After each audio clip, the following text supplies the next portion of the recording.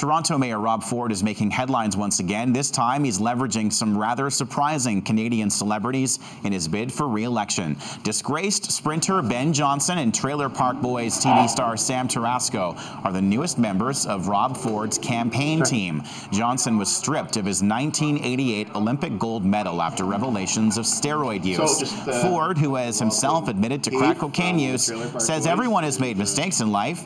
He says he supported Johnson since day one. What about Ben Johnson's record?